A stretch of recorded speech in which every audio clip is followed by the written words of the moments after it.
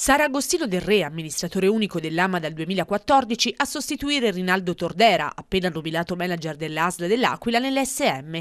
Il sindaco Massimo Cialente dunque rompe gli indugi. Agostino Del Re è direttore del CNA e nella sua carriera ha ricoperto incarichi importanti. È stato componente infatti del CDA di Ebert Abruzzo, di Asso Servizi, una struttura regionale di edilizia globali, servizi e produzioni di beni alle imprese, di Artigian Fidi Abruzzo, presidente del consiglio di amministrazione di Promiter, membro anche del consiglio consiglio di consorzio centro commerciale Centro Storico dell'Aquila di Fidimprese Abruzzo, oltre che del consorzio nazionale di imprese Assu Acqua Network. Inoltre ha vestito i panni anche di consigliere e poi di componente della giunta della CIA della provincia dell'Aquila e è stato membro del CDA dell'ISFOP, è stato presidente del comitato di certificazione DOP dello Zafferano Aquilano, membro del CLES, il comitato per il lavoro e l'emersione del sommerso, componente della giunta esecutiva ITS. Secondo il primo cittadino, Del Re ha fatto un ottimo lavoro nell'azienda aquilana della mobilità, l'AMA appunto punto. Ora ovviamente non resta che scegliere il successore di Agostino del Re alla guida dell'Ama. Nei prossimi giorni il sindaco scioglierà il nodo anche su questo punto.